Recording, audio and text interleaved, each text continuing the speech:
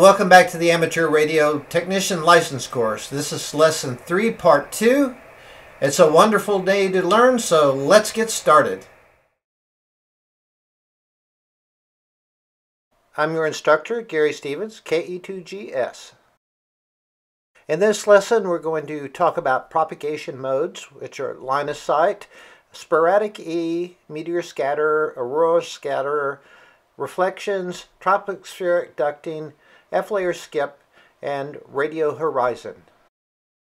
Some portions of the radio wave spectrum behave differently in the ionosphere.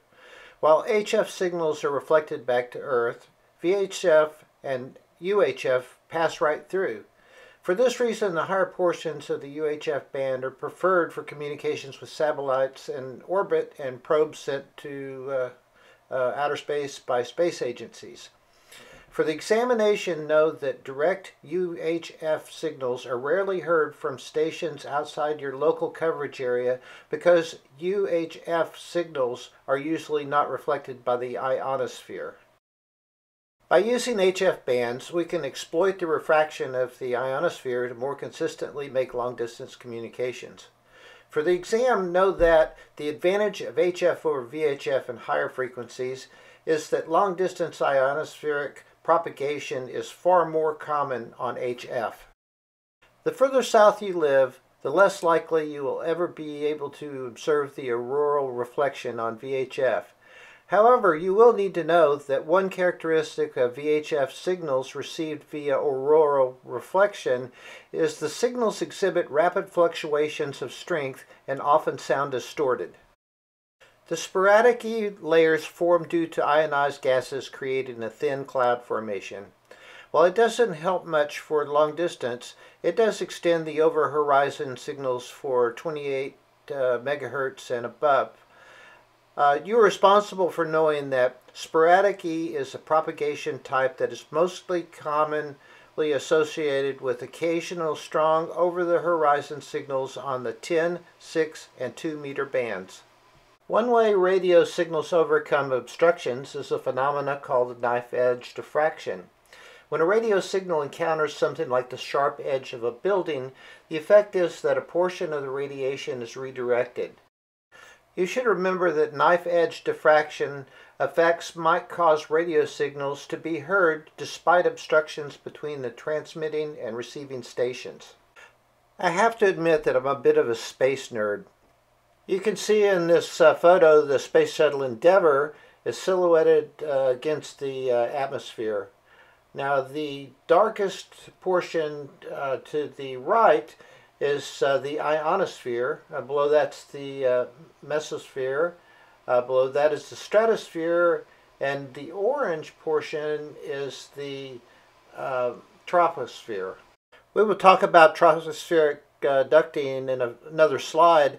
Uh, but for this uh, particular question, you need to know tropospheric ducting is responsible for allowing over-the-horizon VHF and UHF communications to ranges of approximately 300 miles on a regular basis.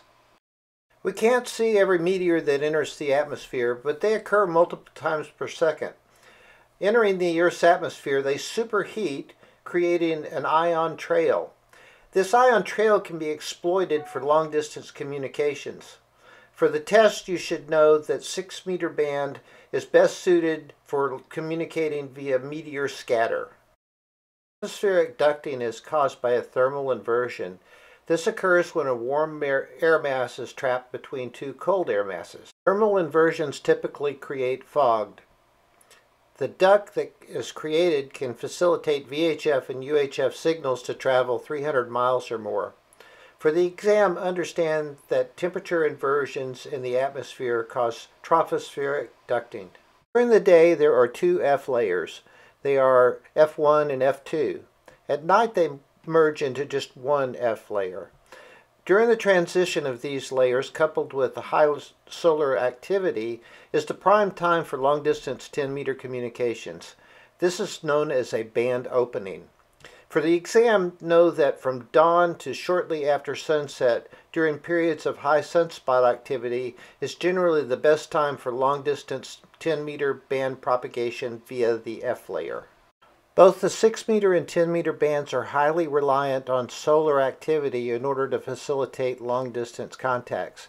The exam requires you to know that the 6 or 10 meter bands may provide long distance communications during the peak of the uh, sunspot cycle. It's easy to visualize line of sight communication, but over the horizon uh, communications require, requires a bit more imagination. The radio horizon is a point where the line of sight ends. Uh, radio waves travel beyond the radio horizon due to refraction or atmospheric bending. For the exam, remember that VHF and UHF radio signals usually travel somewhat further than the visual line of sight distance between two stations because the Earth seems less curved to radio waves than to light. Thanks for watching, and I hope you're enjoying this series.